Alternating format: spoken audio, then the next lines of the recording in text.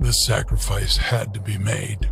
A bad man. He has cursed us beforehand. And now, to break the vicious cycle of fear, pain, and suffering, we had to sign a pact with the devil himself. He promised us a way out and a chance to get revenge on the person who has passed the curse upon our already broken family.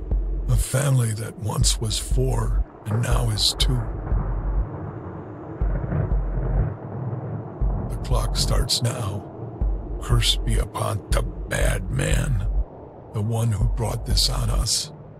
His doings will be reversed this very night. None of that will bring back my children, though.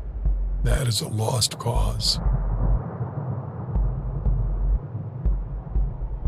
After the pact is signed, I will find him and I will destroy him. Leave nothing left of him. Because of greed, he took away any chance of me and my closest ones to lead a normal, peaceful life. Greed is what drove this man into doing this, and ultimately, it is what is going to kill him. Help me, stranger. Help me get the revenge I so badly want.